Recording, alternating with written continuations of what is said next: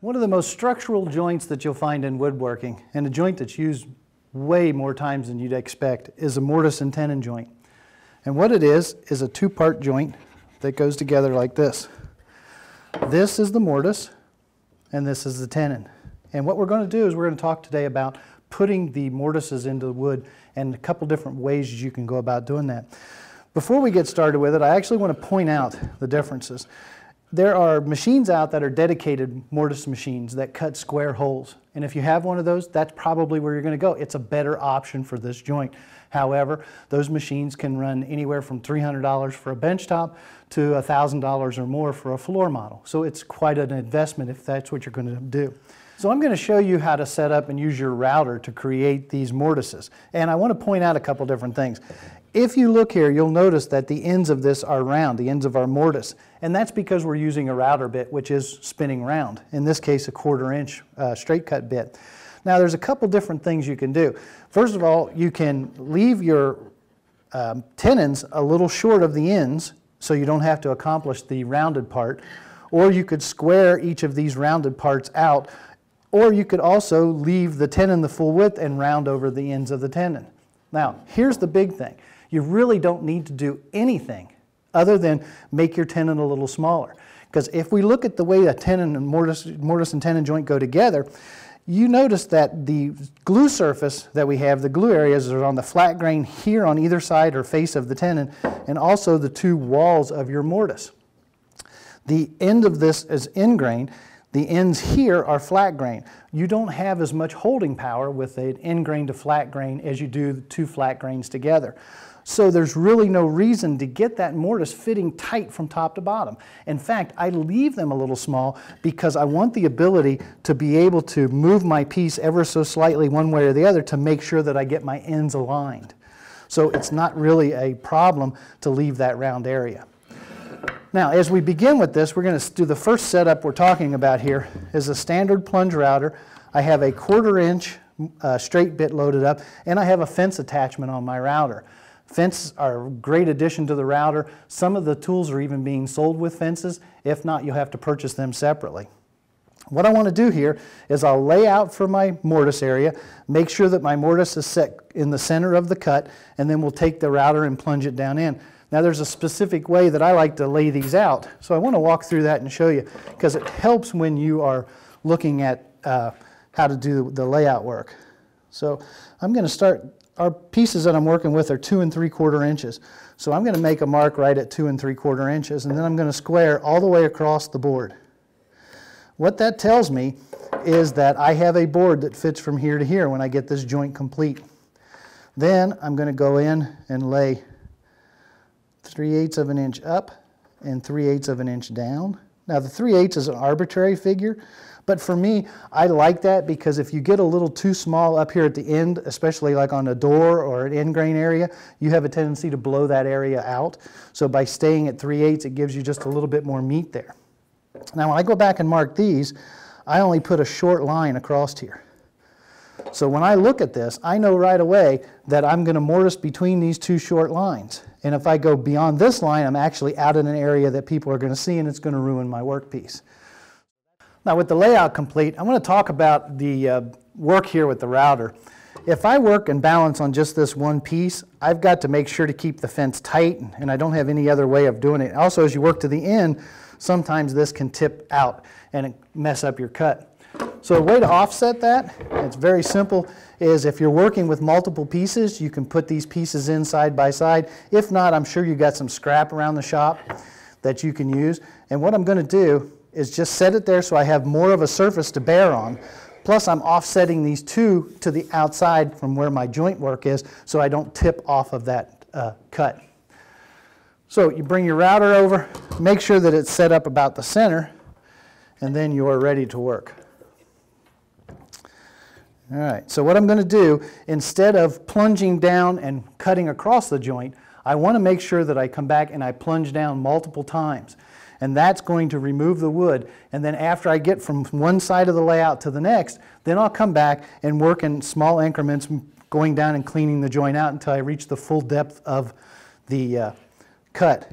And we'll balance or zero this out on our work surface and adjust our depth of cut just a bit and try to get ourselves in about an inch, which is going to be very close. Okay. So with everything set now, we're ready to go. Just going to go ahead and put my glasses on and we'll plunge through this cut and clean it up.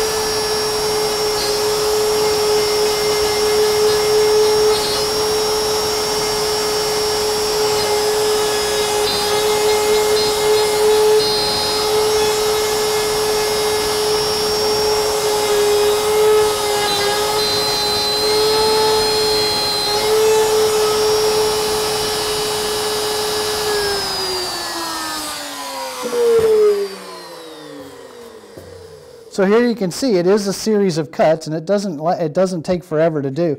And you've got a nice clean area cut. It runs from layout to layout and we got smooth sides on either side. So that's one way that you can create a mortise. Next up, I'm going to show you another way to get that whole thing, whole process done. Now, a second way that you can create a mortise is to use a jig. This is a simple jig that I made Actually, it's a, an article in Popular Woodworking Magazine that'll also be included as a PDF on the DVD.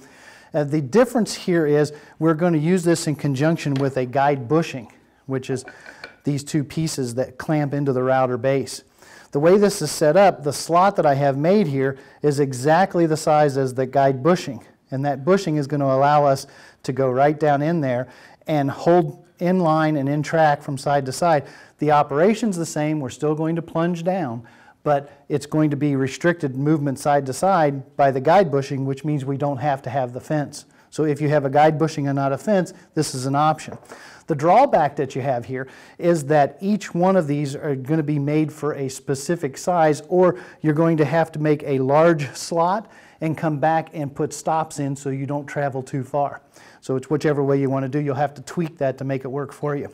But the way this works is I'm just going to load this piece into the jig and make sure that I get it down nice and tight.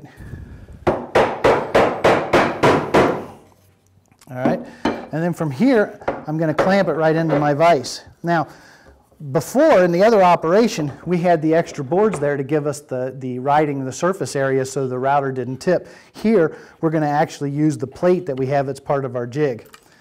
Now, to snap this in place, these bushings, they just slide right into the bottom and get snapped in, and then the retainer ring goes on the inside.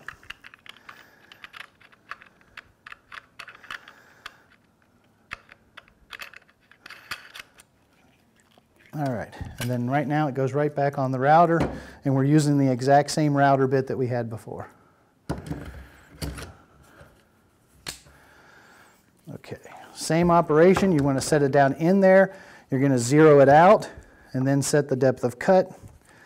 Now this is going to be limited a little bit by the length of your bit, how far in and out you put the router bit in the collet, and how long your actual bit is. All right, so from here, we're going to just get ourselves started. We're again going to plunge, so I'm going to start right at the back side. I'm going to plunge down until I reach the opposite side, then come back and clean everything out. And here's how that works.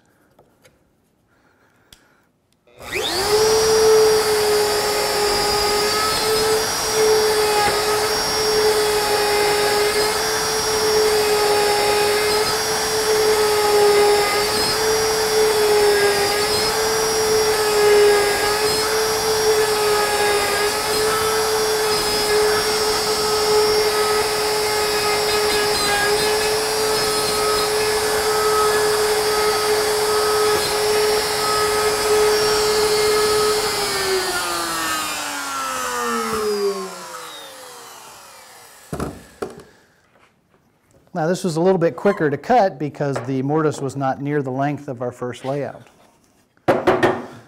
And so there's our finished mortise here. So if you take a look at these two, you can see they both end up exactly the same as far as being a quarter inch that's dead center right in the middle of your board. And the other thing is that they're going to be length determined by the, your layout and how you make the jig in this case and how you work from line to line here. So here's one more tip that I want to give you. When you set up and build the jig, you have to build the jig so your piece is automatically centered in that, that layout. So we don't really have to worry to make sure that everything's perfectly centered. But with this piece, as we cut these ourselves, you want not only to cut it the one way, but if you're worried about being off center, then you want to cut it the opposite direction. You want to set it up to where you can run the whole setup in against the fence with the other side. So you're spinning it around and repeating that same step as you go through. So if you don't dial in exactly the center, there's a way to do it. The thing to remember is if you do work in from both sides, you're probably not going to have a quarter inch that you need for your tenon. It's going to be a little bit wider than that, so you'll have to take and, and make your tenons just slightly thicker in that case. So a great joint, once we set this up, we'll take a look at how we're then going to make the tenons. So how do you make the tenon now? Listen, this is not the optimal way. A router is not the best tool for this. But in a pinch, when you have a router, this technique works fantastically. So here's what we're going to do.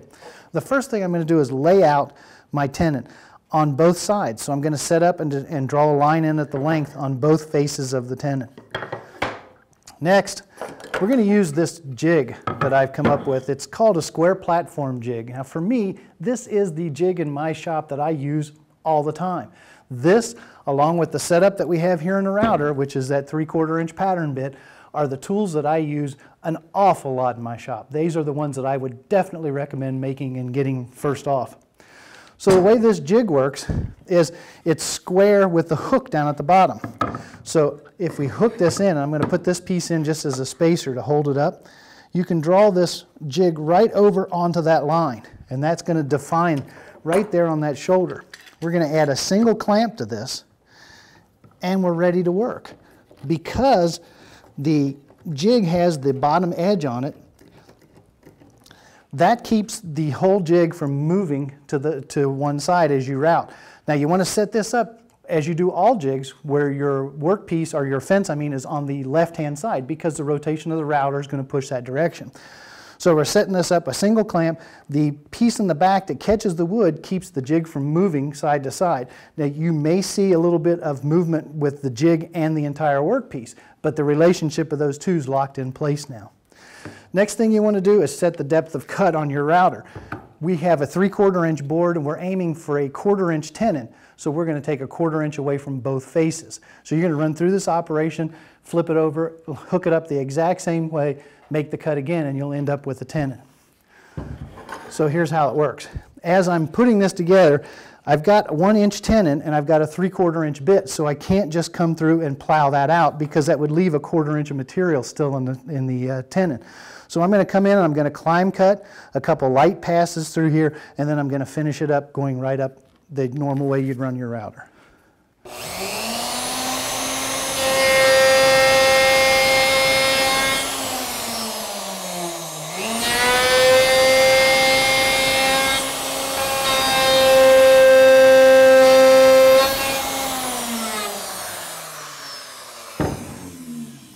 So right there's half of the joint. I've got a quarter inch shoulder right there, and when we flip and do the other side, we're going to end up with a quarter inch tenon right dead center. I'll loosen it up and reverse everything, and we're ready to make the next pass. And pull the jig tight up, right down to the line, and lock it in place. And just as we talked about before with that pattern bit, wherever your fence is, that's where the bearing runs, that's also where the cut's going to be made.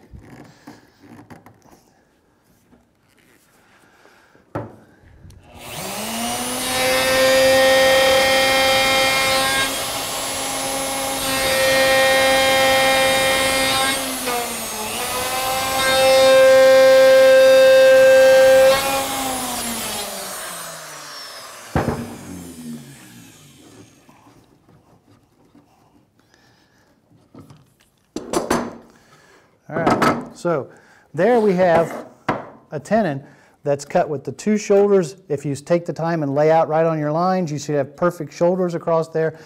Now, the other thing we need to do is remove the ends. Remember, we talked at the beginning that we want to make our tenon narrower than our mortises. So we have a little bit of wiggle room there and we don't have to worry with the rounded ends. At this point, you have a couple different options. This is not a router operation. I would set this up and mark it out and cut it with my handsaw, or you could take it to a bandsaw and finish up the work there. In the end, you end up with a tenon that looks just like this. So you can see the, the parallels of the two. They're both quarter inch thick. The ends have been trimmed away. And if you match that up with your mortise, you end up with a super strong glue joint that is a staple joint in most woodworking today.